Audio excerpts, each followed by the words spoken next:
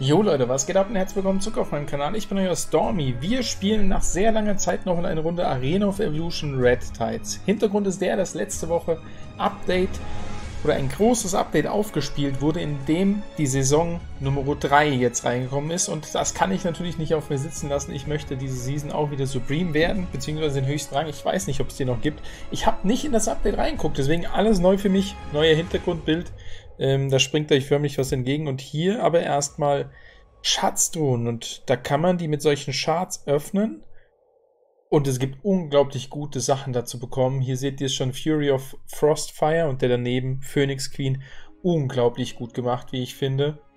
Ähm, genauso wie hier Frostbite und Absolute Zero. Der absolute Nullpunkt. Und ja, wir haben hier noch Sachen bekommen von Patch. Natürlich, weil wir relativ hoch waren vom Rang. Emperor haben wir bekommen. Ich habe natürlich die anderen Sachen nicht noch weiter gespielt. Ähm, wir bekommen ganz viel Silber.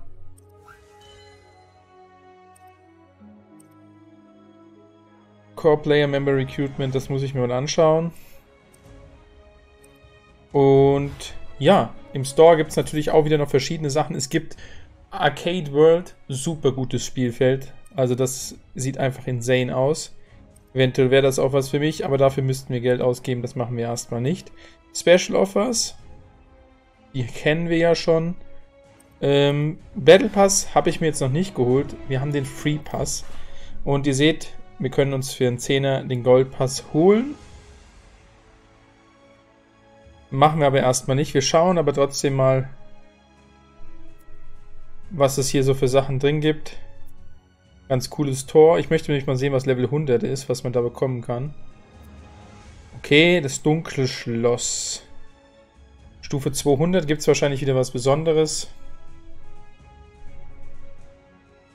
Ähm, als Profilbild, das ist tatsächlich in der Tat so Nightwatch Saison 3. Ihr seht, es sind auch wieder Quests da. Natürlich werden wir die auch machen. Äh, aber jetzt erstmal nicht. Ich würde sagen, wir starten jetzt einfach mal eine Runde. Und zwar Ranked Solo. Und da gibt es den Classier Hunter, okay. Gold and Above, das ist natürlich ein fetter Skin. Wir fangen auf Platinum an. Diamant, Master und dann kommt Supreme. Also das wollen wir werden. Und ich würde sagen, wir legen einfach mal los. Bis 2020 02, also Februar, geht das Ganze. Und ich würde sagen, wir machen mal Solo-Queue.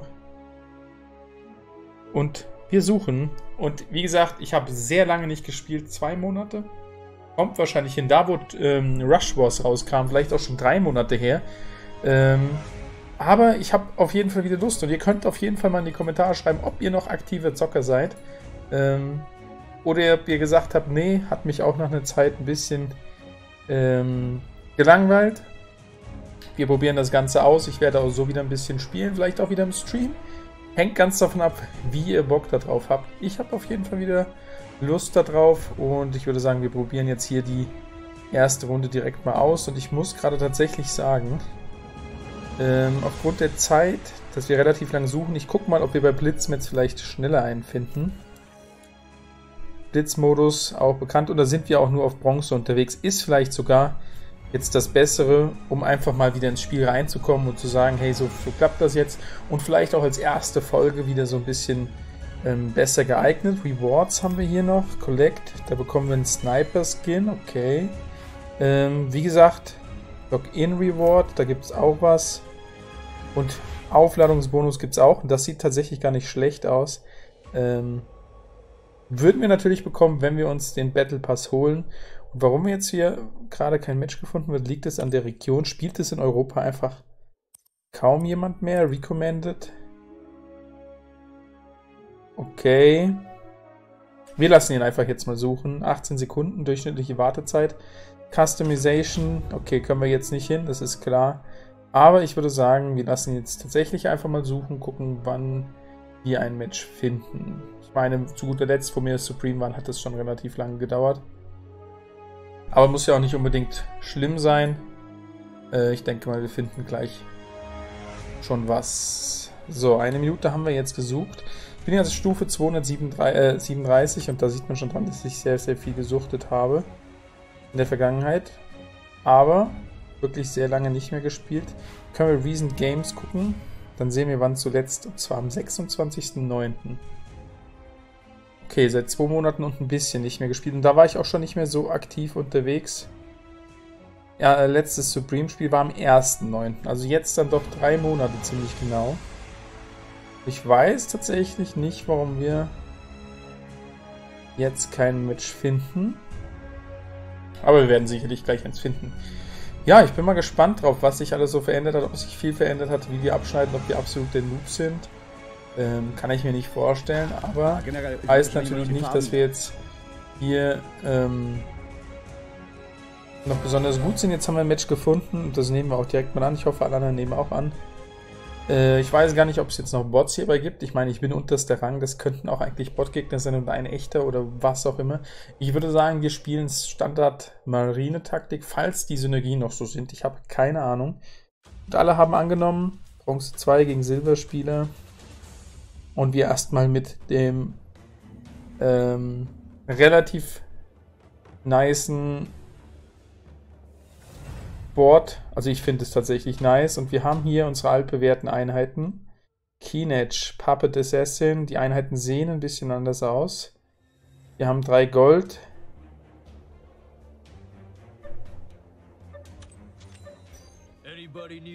Sniper. Okay, Einheiten wurden automatisch draufgestellt. Den Oculus kaufen wir uns nochmal. Eventuell können wir da nochmal Gold verdienen. Und wir sind hier direkt dabei. Ups und sehen natürlich, wie wir jetzt gegen die Skirmisher fighten. Erstaunlich schwer tun wir uns da. Also, okay, habe ich nicht so hart im Kopf gehabt. Wir haben ein Schwert bekommen, das sieht auch neu aus und ich würde sagen, auf was gehen wir? Marine ist gut. Da wäre noch eine Longshot-Unit, haben wir gern Geld für. Und wir hätten tatsächlich doch das Gold dafür gehabt.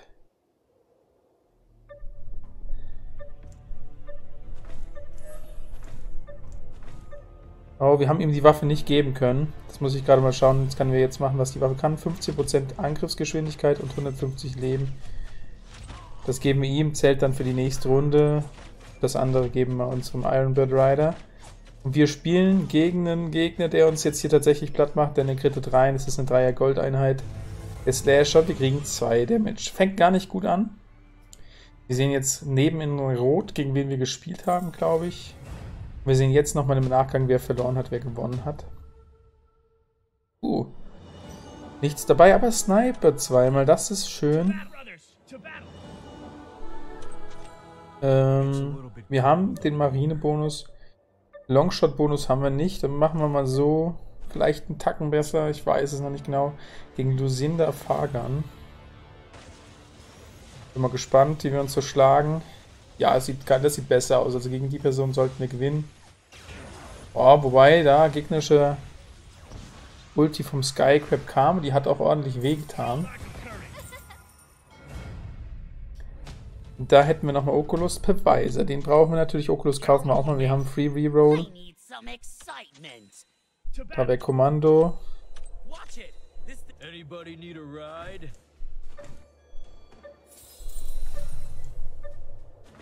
Jetzt haben wir tatsächlich einen 4er Marine-Bonus.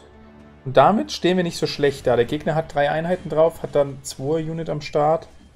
Zwei, zwei am Start, Marodeur vorne oder Dings, äh, Gorilla, genau. Ich kann tatsächlich gar nicht mehr richtig die Einheiten auswendig. Das ist nicht gut. Sniper. Ah, er ist an der falschen Einheit. Kriegt er die Kugel ab? Oh, er schafft es nicht. Hätte er rechts angefangen, hätte er beide gekillt. Das ist ärgerlich. Da haben wir uns ein bisschen unter Wert verkauft, muss man ja so sagen. Die Reroll. Puh.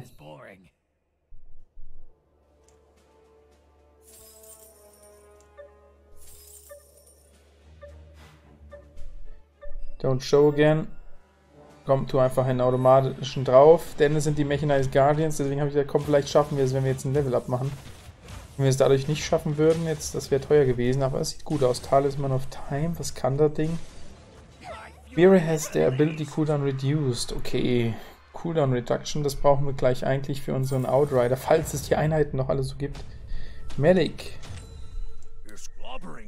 Wir gehen jetzt schnurstracks dann aber auch mit den Einheiten, mit denen wir sonst gefahren wären. Empowerment Potion. Kriegt der rein. So. Kurz von der Ansicht weg und wir gehen nochmal auf den Shop und wir rerollen. Wir haben unseren Free Reroll und da ist nichts dabei. Okay. Wir können hier tatsächlich Select Lineup machen. Under Assassin, Mac Blaster, Vanguard Summoner. Classic Builds, Marine Longshot. Das können wir gleich mal ausprobieren. Finde ich auf jeden Fall cool, dass sie es reingebracht haben. Während wir hier aber erstmal Schaden bekommen. Aber eine Einheit haben wir noch mitgenommen, ein Damage, das ist okay. Wir waren tatsächlich gerade auf dem dritten Platz. Wir sind doch auf dem dritten, habe ich mich kurz verguckt gehabt.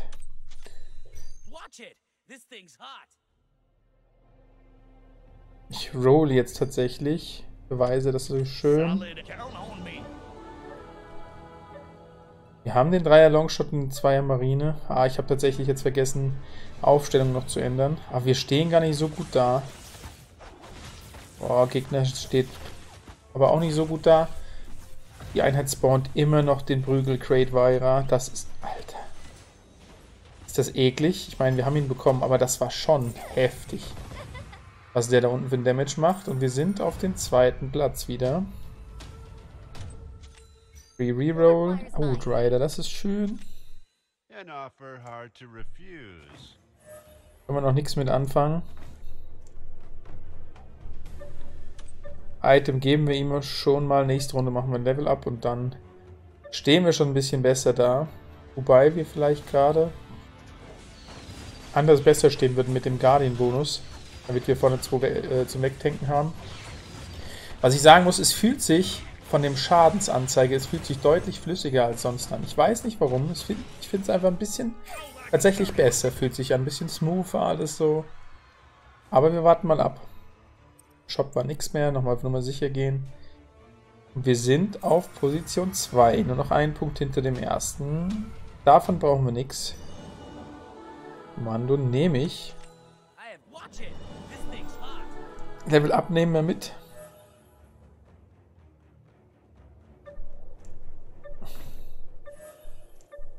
Wir verzichten tatsächlich jetzt mal auf den Bonus ähm, vom Longshot. Wir haben vierer Marine-Bonus und nehmen dafür die Dev-Einheit mit und haben dadurch den Guardian-Bonus, damit die Frontline einfach wegtanken kann, so wie das soll. Und das sieht, finde ich, gerade schon deutlich besser aus. Ulti von uns im Outrider kommt, die macht natürlich auch ordentlich Damage und gegen Lucianda, Fahrgang gewinnen wir, steht noch bei 18 AP, 12 Damage da gemacht. Das ist natürlich nicht sehr wenig. Outrider haben wir da jetzt ein Upgrade, gehen aber auf einen Free Reroll. Oh, das ist schön. Rolls gerade gewesen. wir machen nochmal einen Roll und dann nochmal einen, dass wir hier auf 0 sind. Und dafür locken wir jetzt tatsächlich. Gegen die Dark Legion, ja, die springen hinter uns. Ah, ob das, ob wir das schaffen, weiß ich nicht. Die, die wirken sehr, sehr stark gerade. Abyss Crystal, Heilung kommt. Die Heilung war gut. Der Sniper darf nicht sterben. Der Sniper wird weggekrittet. Wir schaffen das nicht. Holy shit. Wie gehen die denn ab? Ich bin ja schon froh, dass wir da überhaupt eine jetzt gerade gekillt haben. Wobei, rechts das Schild. Kriegen wir noch einen down? Einen haben wir noch gekillt. Oh, fast noch einen zweiten mitgenommen. 6 Damage. Das war teuer. Are deals 400 true damage to a random enemy. Das heißt, das kriegt auf jeden Fall unser Rider. Der Mann macht dann noch Schaden.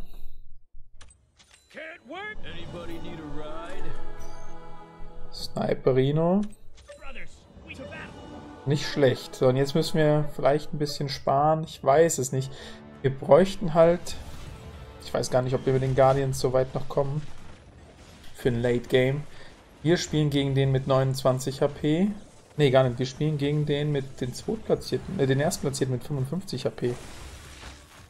Gegner wurden da gestunt. Ja, das sieht sehr gut aus. Das heißt, der bekommt von uns jetzt ordentlich einen rein. Ja, auf 42 runter. Wir sind Zweiter wieder. Wir waren kurz Dritter gerade. Mir fällt gerade auf, dass mein Akku, okay, bei 18% ist. Das sollte noch reichen. Habe ich gar nicht drauf geachtet, wenn ich ehrlich bin.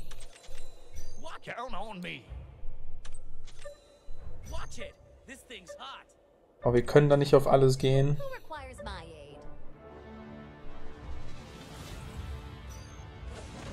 Okay, Kommando, dann verzichten wir...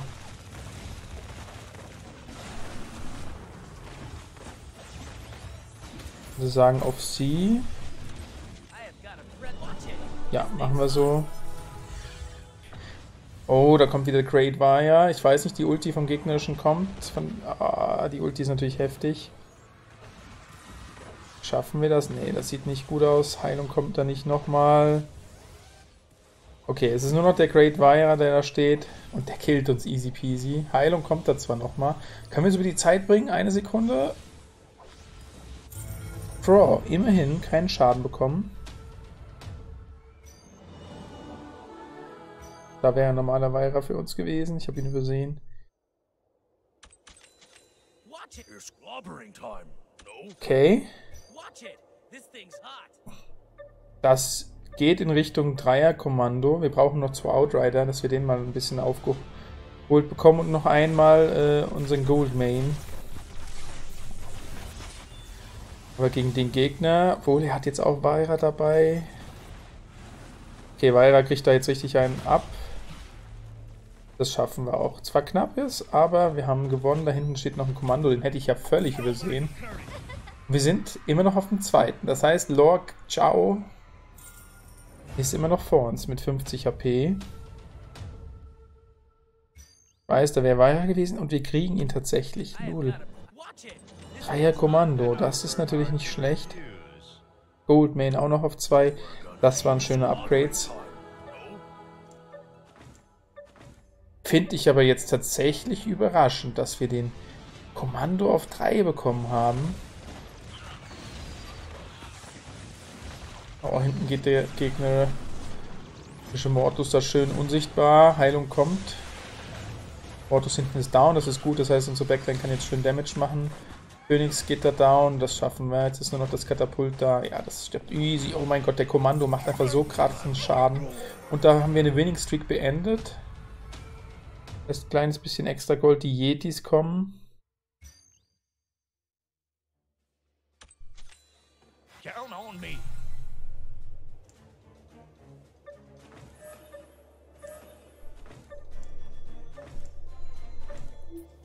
Okay, gegen die Yetis, das war schon sonst immer sehr, sehr schwierig. Ich hoffe, sie wurden nicht verstärkt noch.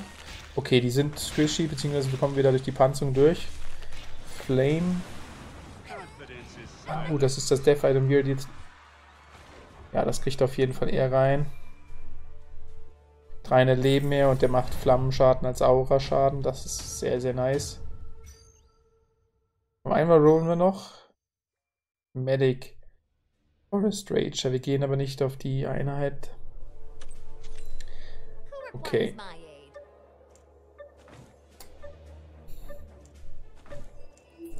Okay. Nächste Runde spielen wir gegen den mit 8 HP. Eventuell können wir ihn raushauen. Das wäre gut. Wobei, der sieht gar nicht so schlecht aus. Aber unser Goldman vorne tankt da ganz schön viel weg. Und unsere Backline, ja, die macht einfach so viel Damage. Jetzt sind sie noch gestunt. Ja, da werden wir ihn raushauen und bekommen schön extra Gold. Wir haben einen Interest, das ist sehr, sehr schön. Aber macht Bock auf jeden Fall nach langer Zeit nochmal zu spielen. Ich hoffe, euch gefällt das Ganze aus. Auch.